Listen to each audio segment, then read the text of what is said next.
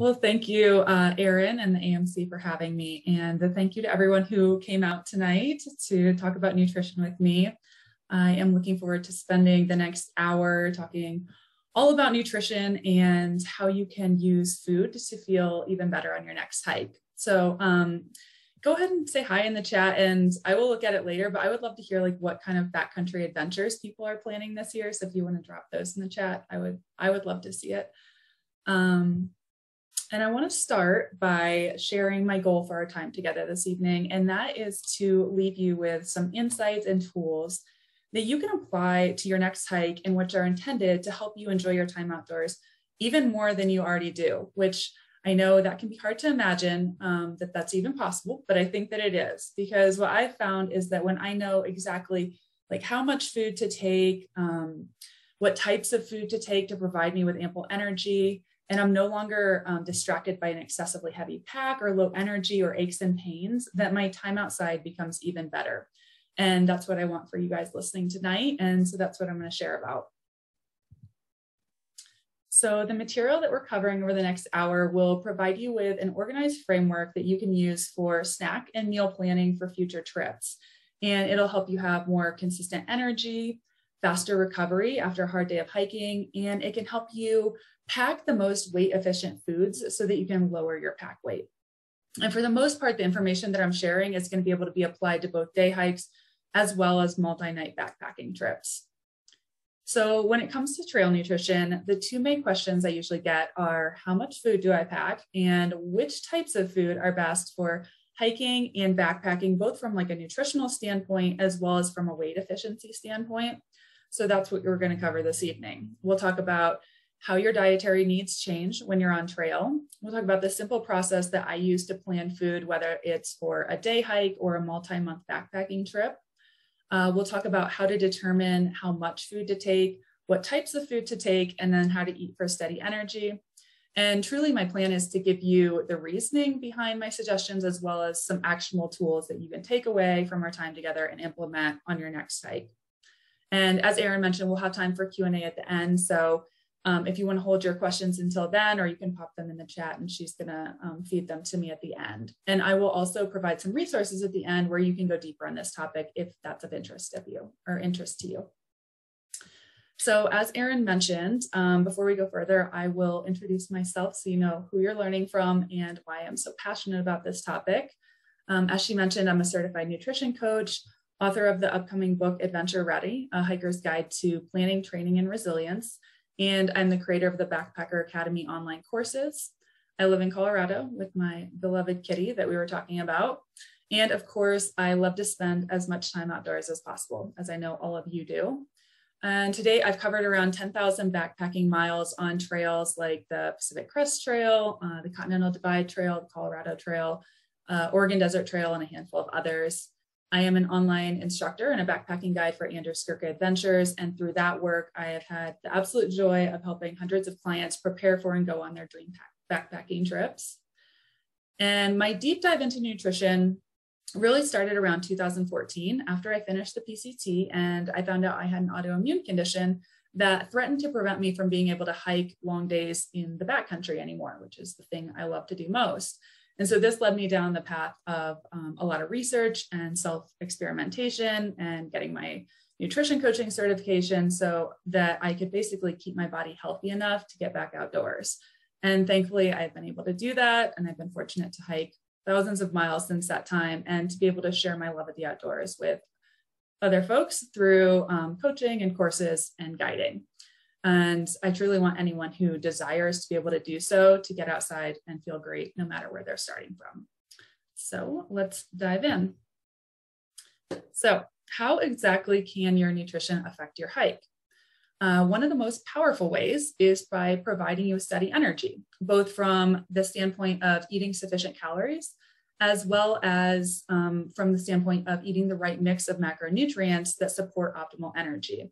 I think most of us have had that experience of um, like hitting the wall or crashing in the afternoon, having to drag ourselves into camp at night, and nutrition can help you avoid that. Your food choices also impact your inflammation levels in your body for better, for worse. And chronic inflammation can cause things like increased fatigue, um, joint pain, brain fog, and more. And so we want to avoid uh, avoid that as much as possible and use food to do that. Your nutrition can impact how well you recover after a hard day of hiking, meaning how sore you are the next day or whether your legs have some spring in them. I think we all know that feeling. And of course, this is especially important on a multi day hike where you want to recover well and feel good day after day after day. And finally, being intentional and planning out your backpacking food can even help you lower your pack weight when you carry the right amount of food and the most weight efficient foods. And ultimately, when you have more energy and you're free of aches and pains and you're recovering faster and you're carrying a lighter pack, backpacking and your trip become a heck of a lot more fun.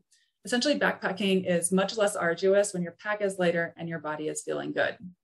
And good nutrition becomes even more important as we age and our bodies change. Many of my clients are in their 40s, 50s, and beyond, and they understand, rightfully so, that nutrition is one of the keys to staying active and continuing to adventure for years and years to come.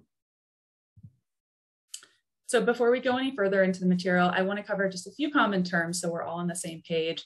The first is calories, which I'm sure all of you are familiar with. Essentially, they're an indication of the amount of energy in food. There are a number of things that affect how calories are absorbed by the body, but we're going to keep it straightforward and just think of calories as units of energy in food. And all of the calories that we eat, meaning all of the food that we consume, is made up of three macronutrients, and that's protein, fat, and carbohydrates. And each macronutrient plays a unique role in the body, and each is essential in a hiker's diet. And we'll get into that in a minute. So I would love for you to answer this question for yourself. When you're planning for planning food for your hikes and your backpacking trips, do you consider the increased demands that you're putting your body under and how you might use food to support your body's efforts? To know how to better support your body, it's helpful to understand how your dietary needs change on trail. So, for example, your calorie needs increase. And this is the one that most people think about. Of course, you're expending more energy on trail, and therefore you need to take more energy in your vitamin and mineral needs also increase. So, vitamins and minerals are broken down faster when the body is under stress, and heavy physical exercise like backpacking is a stressor to the body. So, when you're exercising a lot, your need for nutrients goes up. Your protein needs increase. Uh, protein supports muscle repair and resynthesis and helps build a healthy immune system. And when you're exercising a lot, muscle is broken down more rapidly, so to adequately repair muscles, you need to consume adequate protein. And I find that protein is something that many hikers overlook. So it's something I like to emphasize. And lastly, your carbohydrate and fat needs may shift from what they are at home. It's important to understand that um, almost all of your muscular energy comes from either carbohydrates or fat.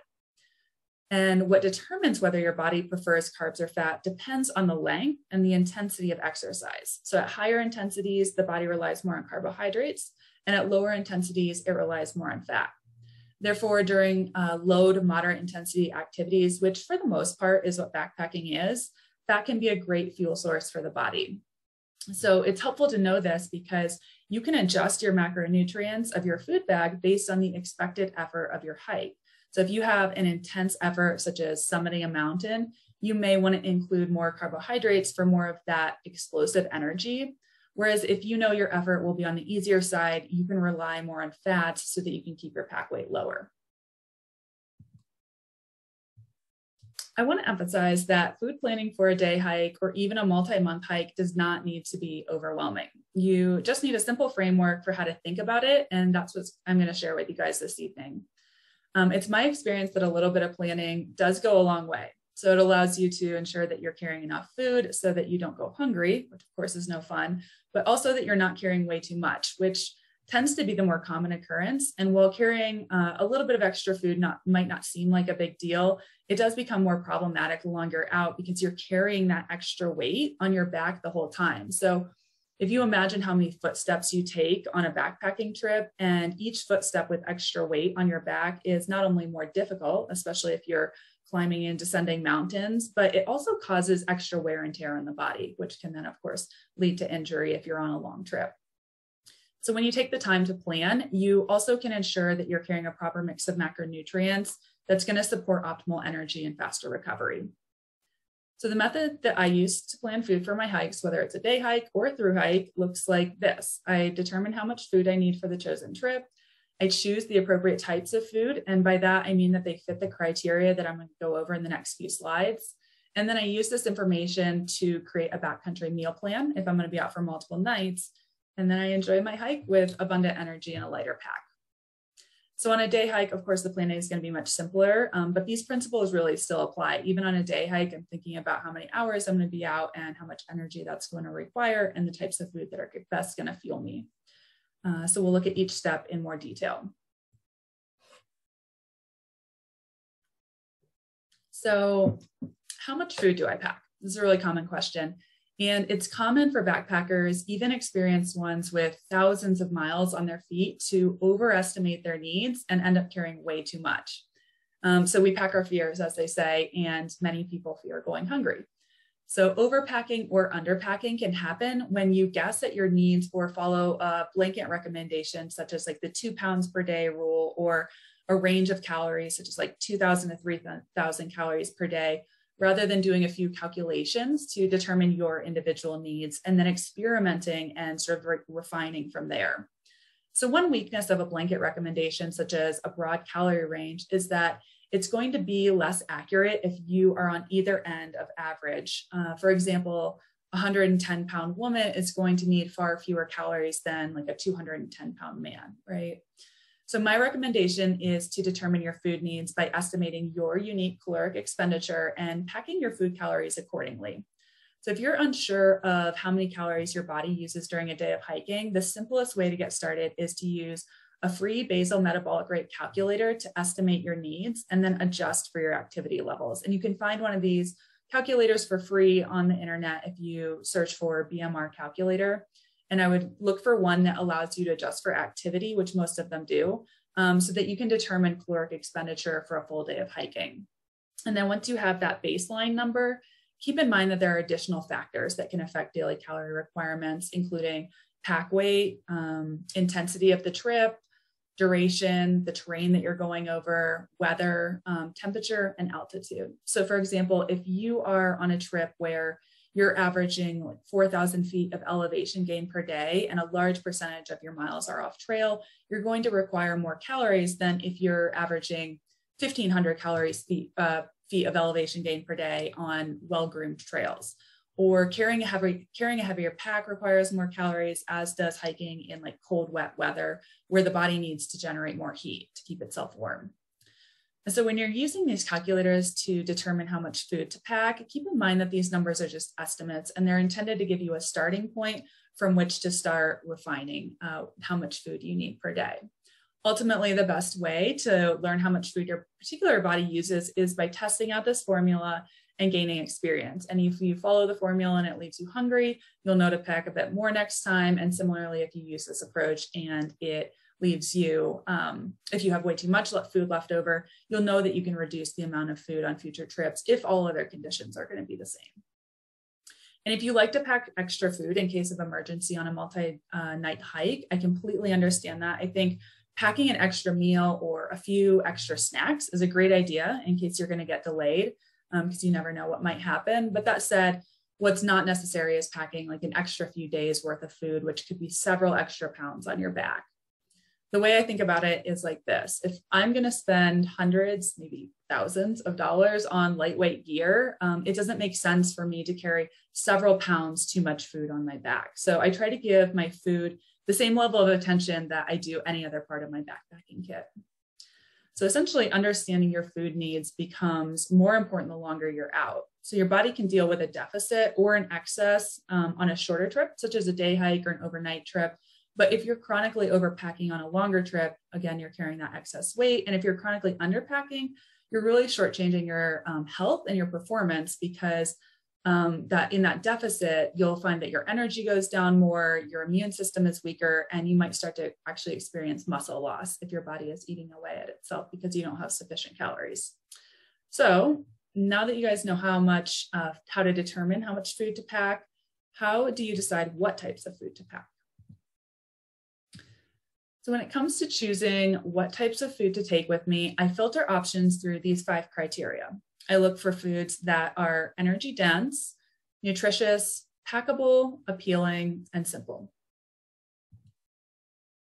So because backpackers have to carry everything on their back, trail food needs to be energy dense, meaning that it has high calorie per ounce. Most hikers aim for greater than 125 calories per ounce or at least 100 calories per ounce. So for the most part, this means fresh items like fruits and veggies with their high water content and low calorie dense, density are not um, ideal choices to make up the bulk of your food. Personally, I'll pack out a few fresh items like carrots or an avocado for satisfaction and nutrition on the first day or two uh, of a trip out from town, but fresh produce, produce doesn't make up the bulk of my trail diet. To achieve high calorie density, the easiest way to do that is prioritize healthy fats because Fat contains nine calories per ounce, um, while carbohydrates and protein are each four calories per gram. I'm sorry, I said nine calories per ounce, and nine calories per gram. Carbs and protein are four calories per gram.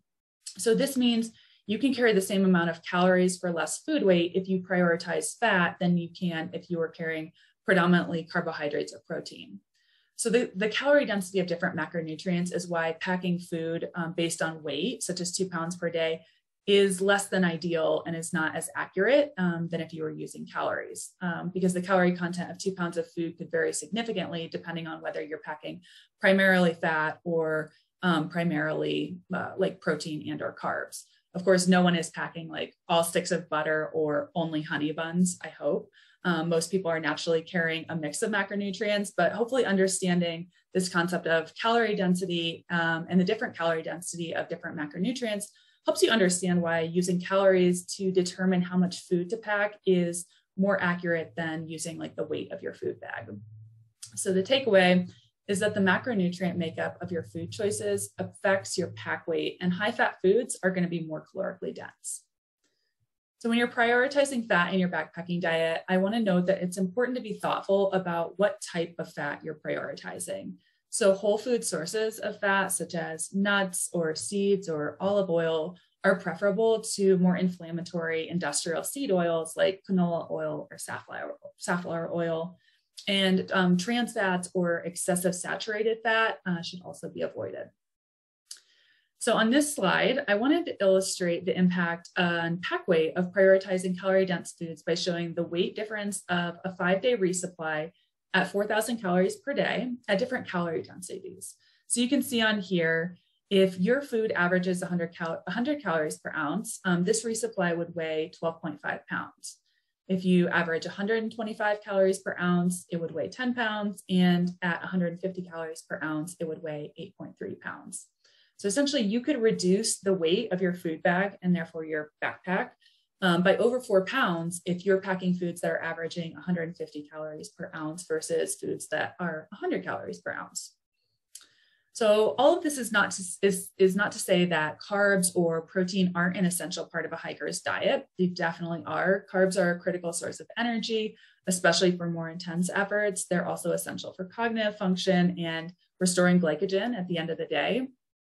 And protein is necessary for preventing muscle loss and repairing muscle. It's also important for um, the immune, uh, immune system to have function properly and for the formation of red blood cells and mitochondria, which helps with energy metabolism.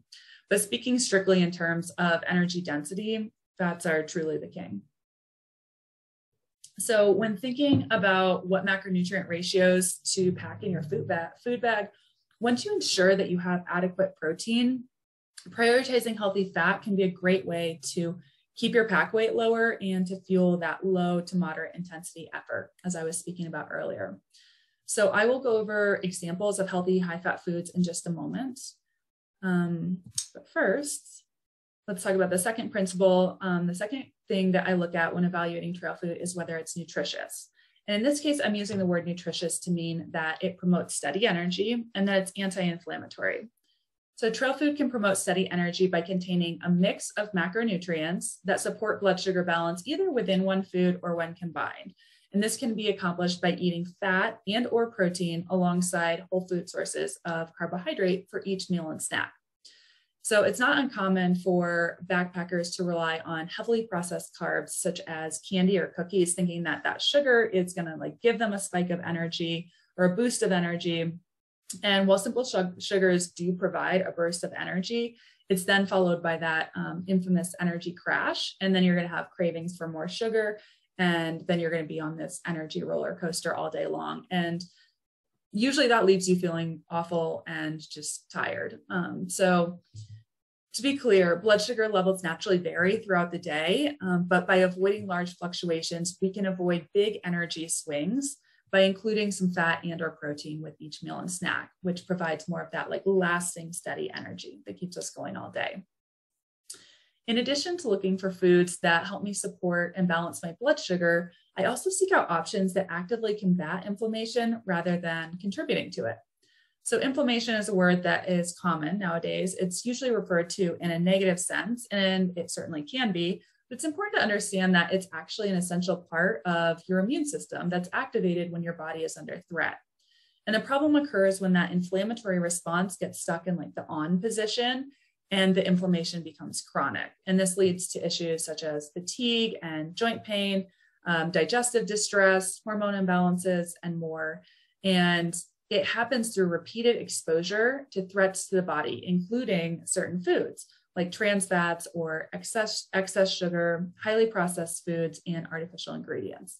So I try to keep in mind that everything I'm eating is either fighting inflammation or contributing to it. So I aim to give my body um, a boost and support it by choosing anti inflammatory foods on trail. And again, I'm going to talk about some examples in just a second because you're probably thinking, okay, this is great, Katie, but how do I actually apply this um, when I'm packing my food bag?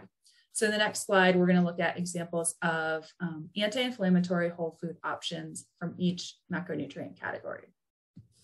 So that's what you can see here. Um, and this should, seeing some of these examples is intended to help with meal and snack planning. So if you're thinking, okay, how do I increase healthy fats if that's going to help me lower my pack weight? Um, what are some examples of how to do that? So you can see up there like olive oil and coconut oil um, nuts, seeds, coconut is always a good source. Dark chocolate is one of my favorites. Um, maybe you're thinking, all right, what are examples of some nutrient dense carbohydrates I can eat rather than relying on candy for quick hits of energy? So you can see down there some more like whole food sources of carbohydrates like fruits. Um, I think like sweet potato chips are one of my favorites. Um, any kind of like dehydrated veggies, rice noodles, things like that what are some good sources of protein that can help repair muscle at night? And so you can see some sources of protein there, whether it's um, grass fed jerky or um, soy products if you don't eat meat. Um, looking for that healthy protein is definitely important. So when you're thinking about creating that blood sugar balanced meal that I was just talking about for steady energy, you can think about which choices you could combine from each of these categories so that you're creating meals that have fat, protein, and carbs in each meal or snack. So, for example, maybe you're putting together a dinner and you might choose um, dehydrated chicken as your protein, instant rice as your carbohydrate, and a packet of olive oil as your fat. And I would also add some spices for both flavor and their antioxidant value. Or maybe you're choosing food for a trail lunch. So you might choose a tuna packet as your protein, um, avocado oil based mayo as your fat, and then throw some crushed chips in there as your carbohydrate. So I might be uh, revealing my hiker trash ways with that suggestion, but the take home is that you can create any combination you want based on whatever you like. And then for breakfast, I usually have a trail smoothie that I make that includes collagen powder as the protein, coconut milk um, powder as the fat, a greens powder for a little bit of carbohydrate, and then several other anti-inflammatory spices and superfood ingredients that support endurance. And if you're curious about that, the recipe is on my website if you search um, Energy Booster Trail Smoothie. So the next criterion I look for is packable. So backpacking food must be compact and on a multi-night trip remain edible for days without refrigeration. It must, must withstand being squished in a food bag. And um, if it's in the middle of the pack, so you know you don't want to get squished and cause a mess. And packaging should be minimal, light, and compact since you need to pack everything out. And this means things like um, cans of beans, or of course, glass jars, uh, like things like nut butter, um, condiments that are in thick plastic bottles don't meet this criteria. Things that do work are things like um, single serve condiments, like olive oil, or those little packets of nut butter, um, pouches of tuna, nuts or dried fruit that you've repackaged into Ziplocs, um, dehydrated and freeze dried items. Those are just a few examples of things that are very packable um, and withstand being compacted. They're non perishable and you can like squish them in the center of a pack. And, and in terms of being packable, I also think about the packaging.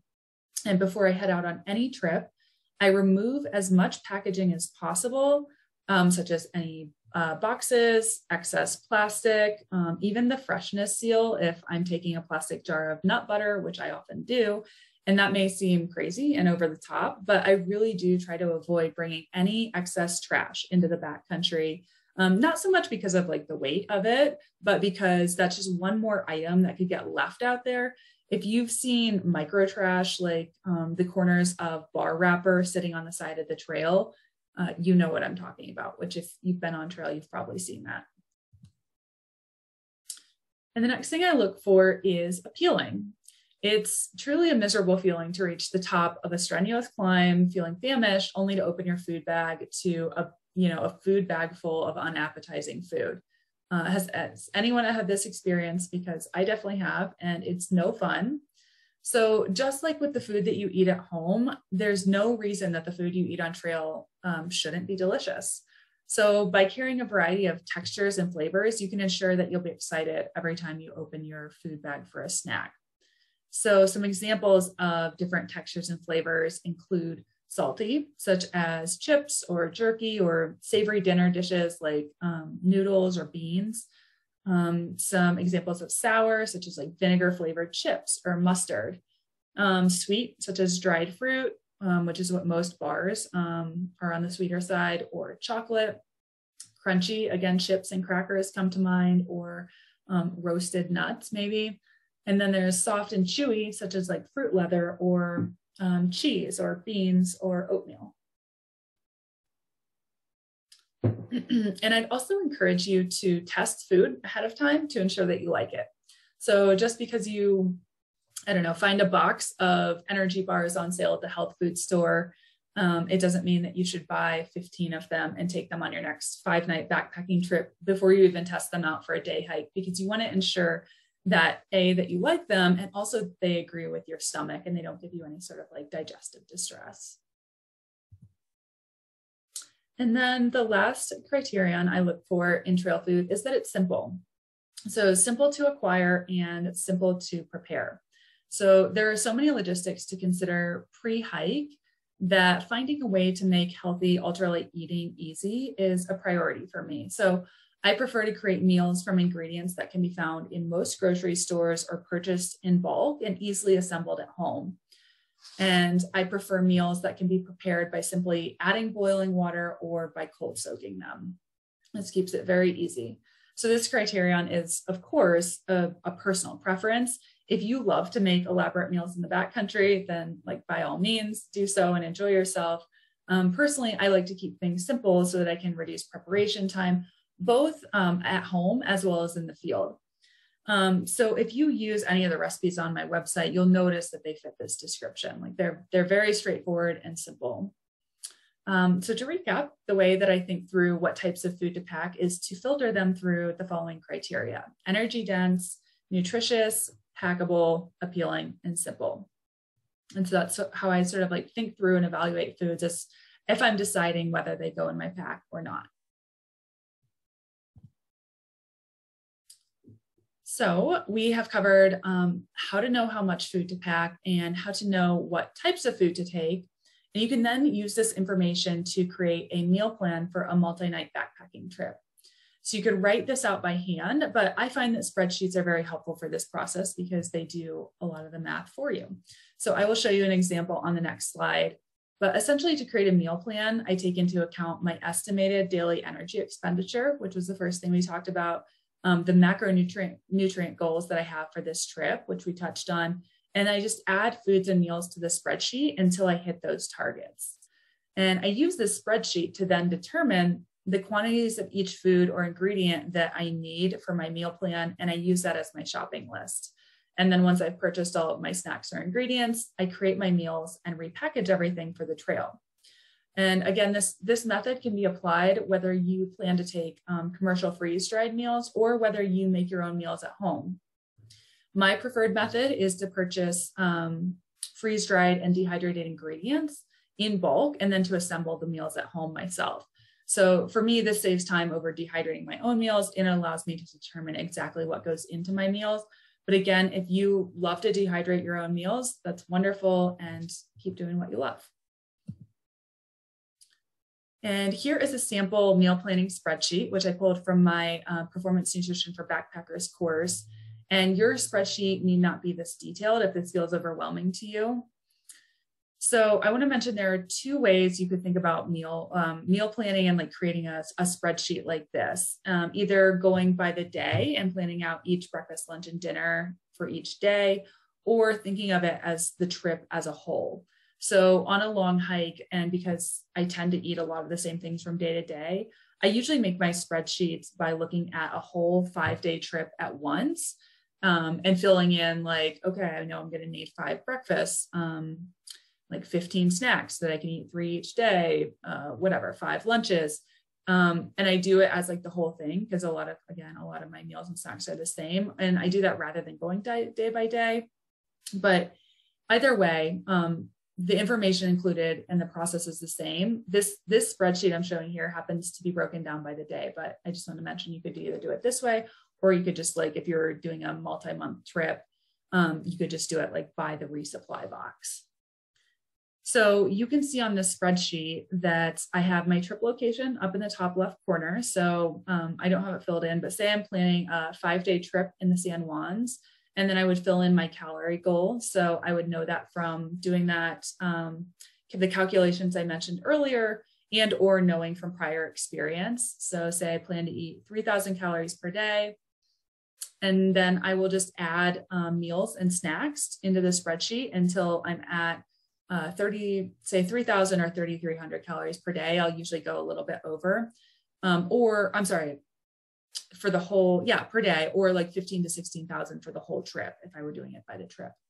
And then I'll also note my macronutrient range, um, macronutrient targets that I'm going for, such as um, say I know that I want to hit like 20% protein, 50% fat, and 30% carb because I've tested this out and decided that that's how my body feels best.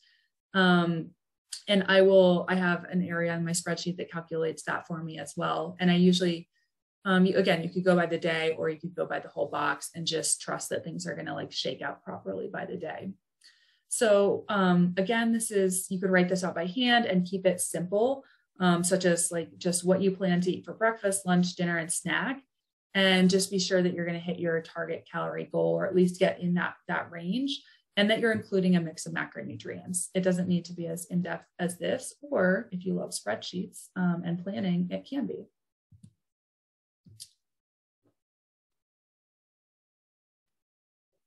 So to recap the what we have covered, we talked about how your dietary needs change on trail. Um, and to summarize, you need an increase in calories, um, increased nutrients, and increased protein, and then kind of thinking about how your fat and carbohydrates might shift. We talked about how to decide how much food to take so you can um, figure out your daily calorie expenditure through one of those online calculators and or um, test it out through experience or maybe you know from experience. We talked about how to decide on what types of food to eat. Um, the criteria that i use are that it's calorie dense nutritious appealing packable and simple. And we talked about how to combine all of this into a backcountry meal plan. Oh and we talked about how to eat for steady energy which is to include fat and or protein um, with your meals and snacks for balancing your blood sugar.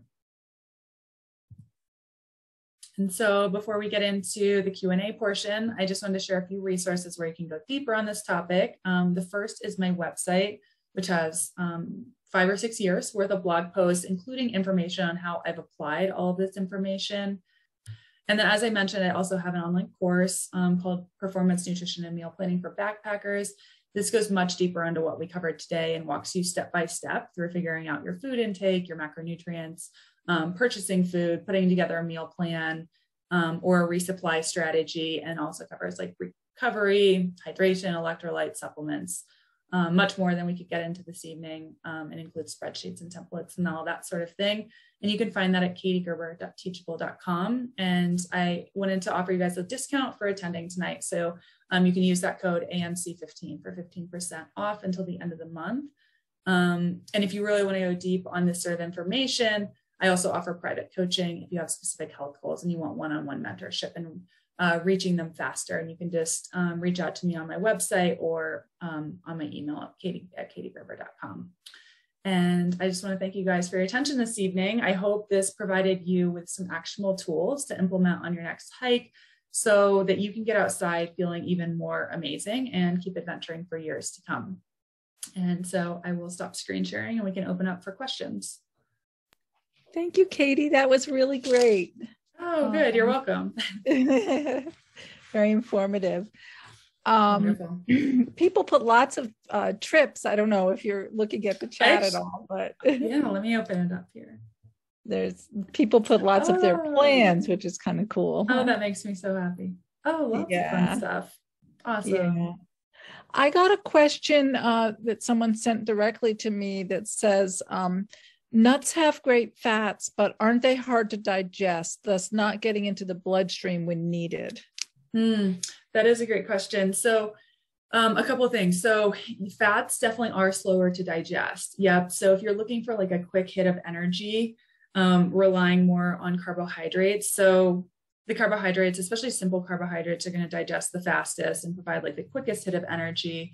Complex carbs like the curve is um, they release a little bit uh, later and then they kind of like um, cut off after or they're sort of like used up after around two hours and then protein and then fats. So that is sort of the order of digestion. So that's why protein and fats provide the lasting energy so if you want a quick energy um, yes nuts are harder to digest so you wouldn't get that like quick burst of energy um, so that's something I'll mention about nuts. The other thing, if you want to make them easier to digest, is you can actually get um, sprouted or soaked nuts, which are a little bit easier. They've, um, yeah, they've been soaked overnight and they're a little bit easier to digest. So that's a, a thought for that as well.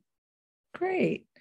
Um, someone says, uh, what is your advice for someone on a low carb diet? Yeah, this um actually backpacking food and the, the way that I look at it is actually really could be really conducive to a low carb diet be- because of what I was sharing about how prioritizing fat and fat being a great, both great for lowering your pack weight because it's like the most weight efficient way to pack food, as well as fat being um, the body's preferred fuel source for low to moderate efforts. I actually think backpacking on a low carb diet is um, it, it, they fit together well, is how I'll say it. So um, I'm not sure if was the question asking about like ideas for it, or just if it's um, like a good idea. I think. Uh, let's see. I've got to go back now here. Oh, sorry. The questions are starting to come. Yeah, I, in here. Advice for someone on a low carb diet. Advice. Like yeah. Focus on fats and yeah focus on those fats i think you're you'll find that you'll probably need a little bit like if you're keto at home or, or low carb at home you'll probably need a little bit more carbs on trail because your body is um, you're going to be pushing yourself a bit more and you're going to be um, yeah wanting to exert yourself a bit more so your body will want a little bit more carbohydrate than at home but it's totally possible um, i would just focus on those healthy sources of fat like nuts and olive oil and um, coconut oil powder and um, that sort of thing. Okay. Um, do you have any eco-friendly reusable products that you like to use? I get sick of discarding all my Ziploc bags and single-use packets. Yes. Um, I don't know any of the brand names, but there are definitely I, I totally feel that. And there um there are options for those like reusable plastic baggies that people use. And I mean, this is something that I do as well as I will use my bags until they're like disintegrating. So I will just like reuse and reuse and reuse. So I think that's helpful as well. And then you don't go through quite as much. Same thing with like plastic water bottles. So you'll see a lot of long distance hikers with like the smart water bottles. And um, this might be disgusting, but I usually carry them for like hundreds of miles and I'll just like rinse them out in town, like with um, hot soapy water and get them cleaned out, but carry them. But yeah, I definitely can understand that concern because it's, it's a lot of plastic use. Yeah, yeah. I reuse the the Ziplocs too. Yeah. Um, Okay. Hi, Katie. Thank you for your time. Do you have any suggestion for hikers who are looking for foods with low glycemic index but high nutrient density beyond mm. nuts? Mm-hmm.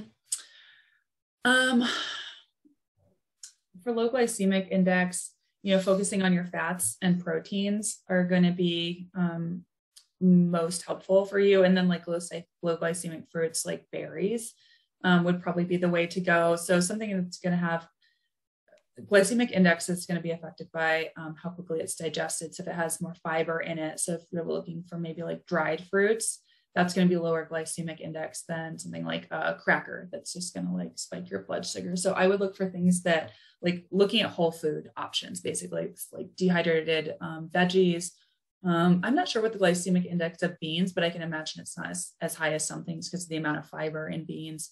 So that's where I would start, kind of to summarize that like word salad, um, looking for fiber and looking for like whole food sources and sort of prioritizing fat and protein.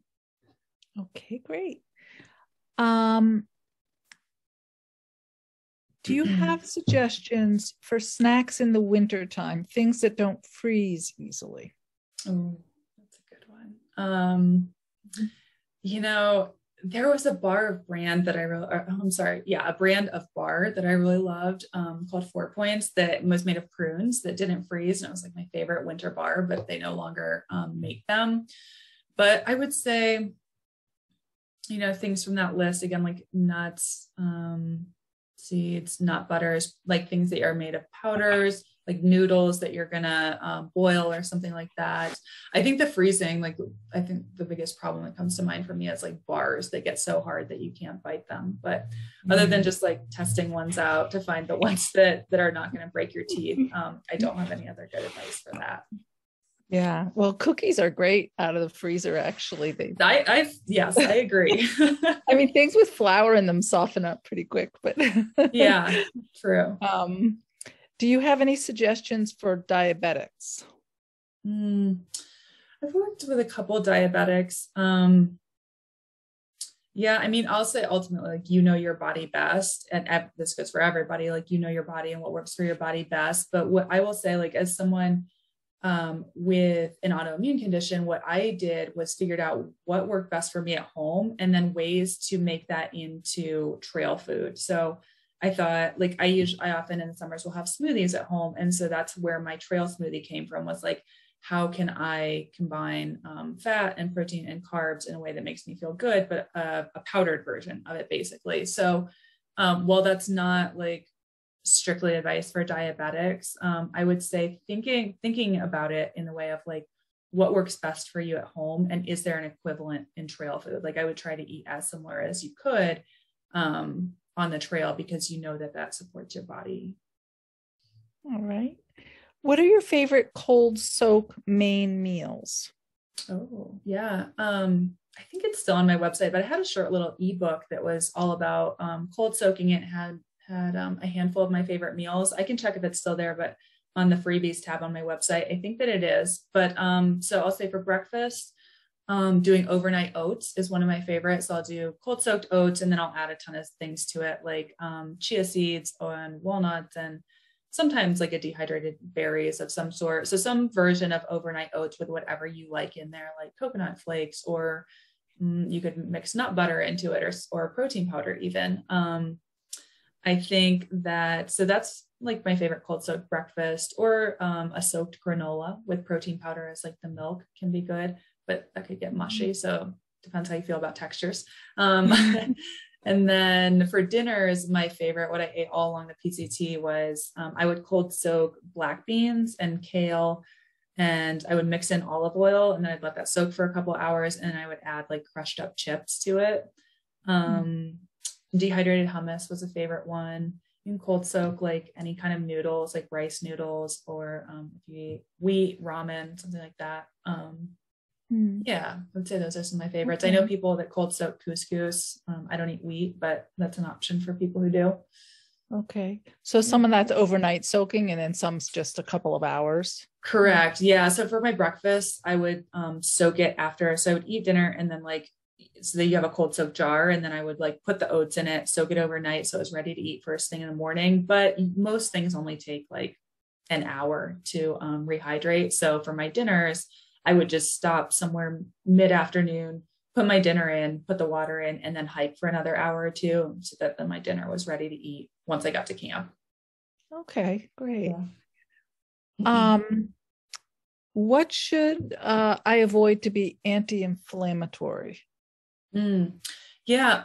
so um, I would think of it more through the lens of like, what should I prioritize? Um, so I would prioritize to keep it very simple, like whole foods and things that are nutrient dense. So when you think of nutrient density, it's going to be like, um, yeah, like whole foods, like beans and nuts and seeds and dehydrated fruits and veggies. In terms of what to avoid, um, food wise, like alcohol, excessive sugar, um, trans fats, um, a lot of like artificial ingredients like colorings and um, binders and stabilizers. Some of those can be inflammatory. And to go a step deeper, um, each person might have different food triggers. So, for instance, um, if you know, if you've noticed like that you react to dairy or to gluten or something like that, like you get stuffed up when you have dairy, that's an, probably an inflammatory food for you. So if you want to be anti-inflammatory, I would try to avoid that as much as possible.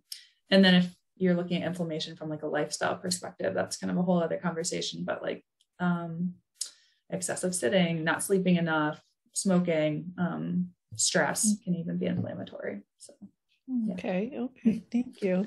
Yeah. Um, well, someone asked, uh, where do you find coconut milk powder? And somebody answered Amazon. So I was wondering mm-hmm. if that would be yeah.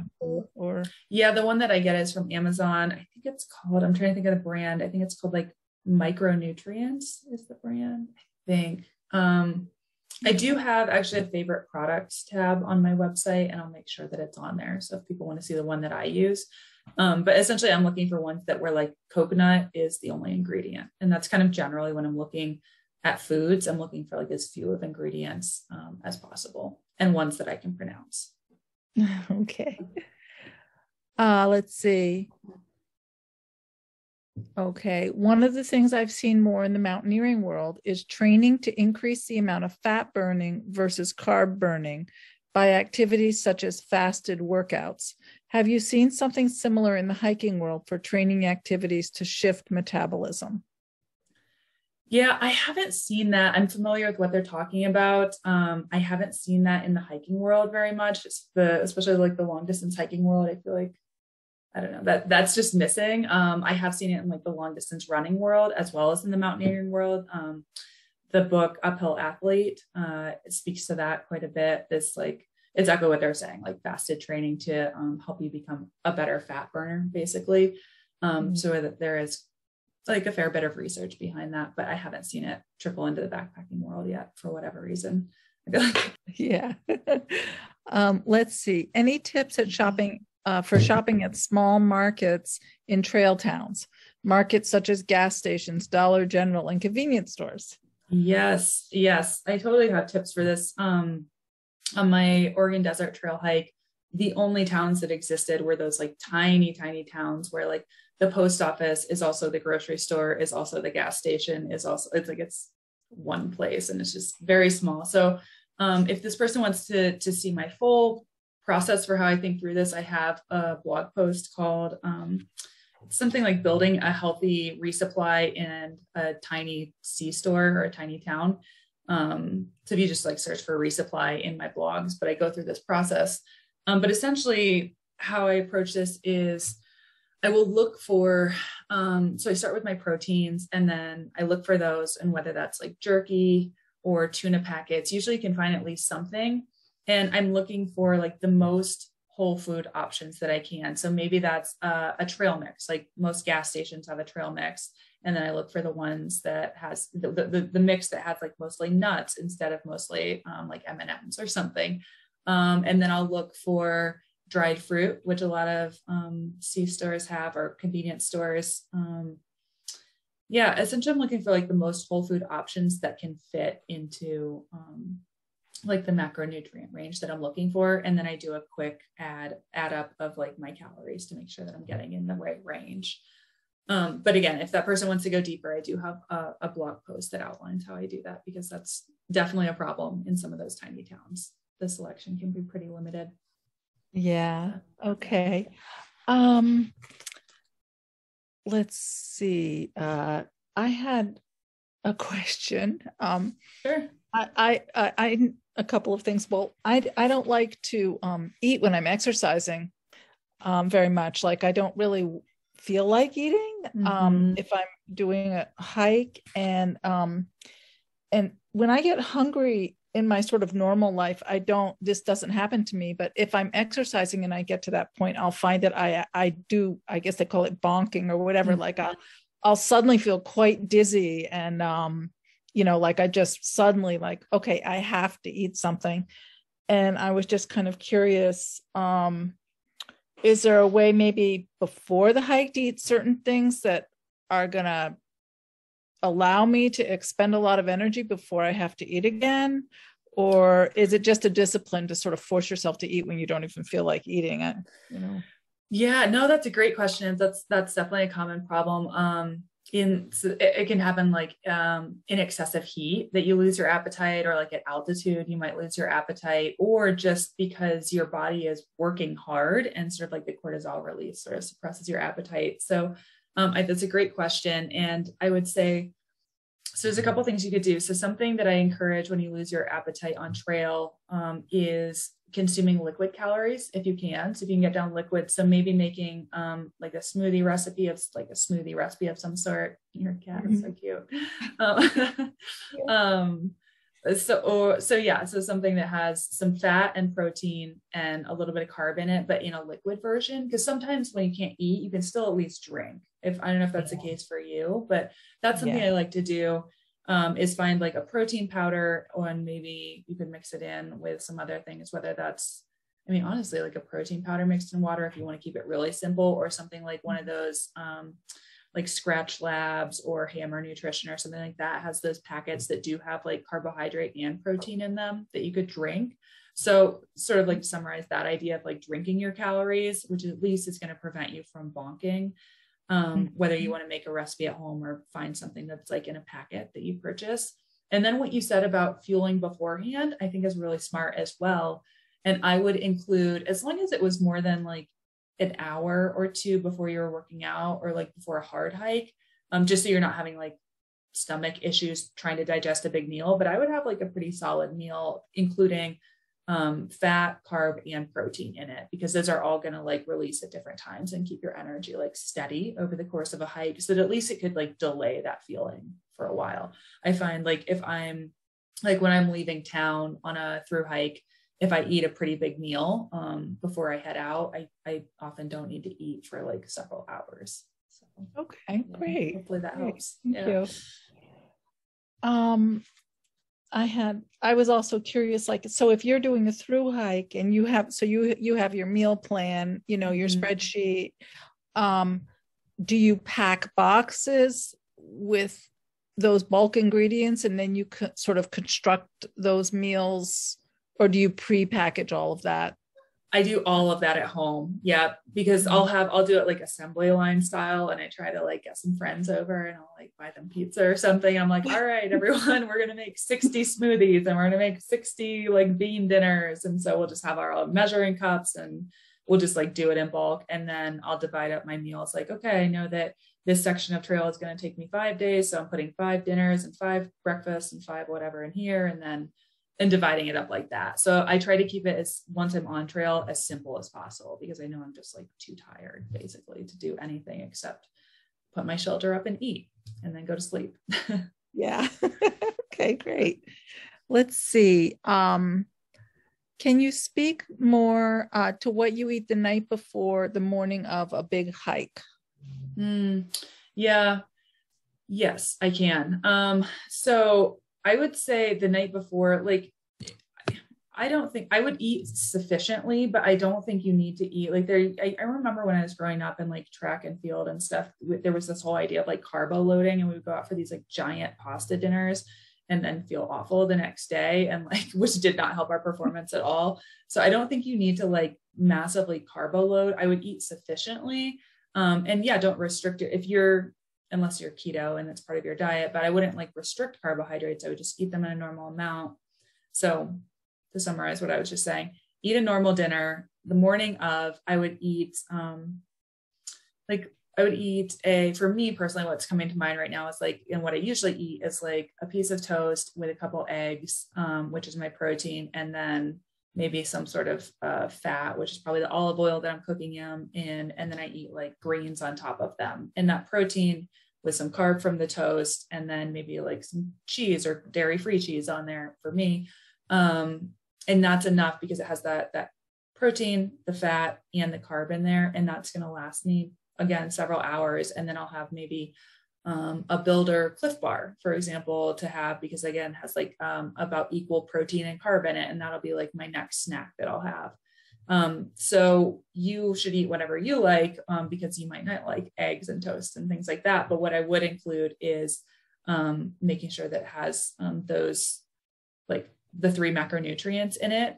If you're not about to do something really hard. If you're about to do like a really hard workout, like go for a run, I probably wouldn't eat things that are slow to digest, like fat. I would keep it a little lighter and mostly eat carbohydrate and a little bit of protein. But if you're going to be moving at like a moderate pace, I don't, I think you should be able to like be fine eating stuff that um, is a little slower to digest. So hopefully that's helpful. Yeah. Um, let's see. We have one more question, I think, here. Um, can you include your current body fat as part of your calculations? I'm not quite sure. Do you need a hmm. more explanation on that? Yeah, I'm not sure quite what they mean. Um, Leandra, why don't you just unmute yourself and just ask her that? Yeah, so when you're trying to calculate the amount of fat or carbohydrates that you want to pack, can mm-hmm. you also take into account that you might be carrying a little extra weight and mm-hmm. said, hey, I, you know, I have five extra pounds of fat mm-hmm. and not pack those.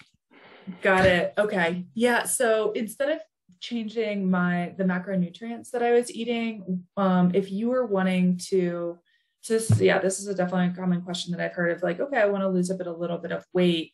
So I wouldn't think about changing your macronutrients. If anything, I would change your calories a little bit, but I would just caution you not to go too low, um, especially on a longer trip, because it can really have an effect on like your energy and um, even how clearly you can think. Um, and if it's a long trip, you know, being too low on calories too long can actually like affect your immune system as well. So I think going a little bit, maybe I don't know, a couple hundred calories under what you need is totally fine. That's, you know, especially if it's a day hike, like your body can completely deal with that deficit. I would just be hesitant on like a multi month trip to continue doing that over and over again. Um, like if you're cutting yourself short by like a thousand calories or something. So, kind of to summarize what I was just saying, I wouldn't think about changing my macronutrients as much as I would think about changing my calories if I wanted to um, lose a little bit of weight, like a little bit of body fat. Is that helpful? Thank you. Yeah. Does anybody else have any questions?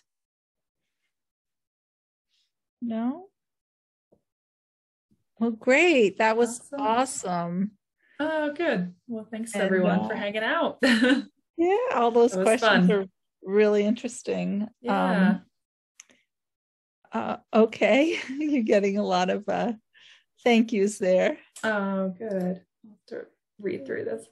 Oh, thanks everyone for coming. this is fun.